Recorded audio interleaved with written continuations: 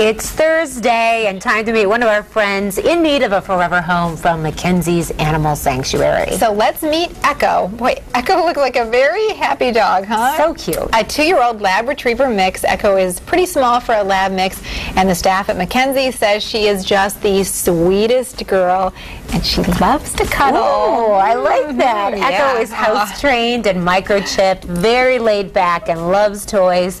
And here's a good one she's great with children. Fantastic. Well, if you'd like to meet Echo, you can fill out Mackenzie's online adoption survey.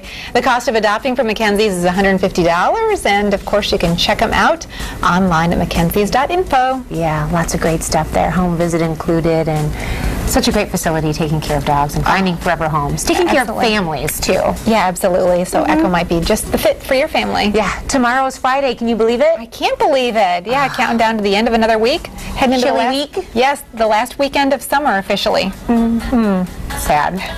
All right, stay warm and stay west, everyone.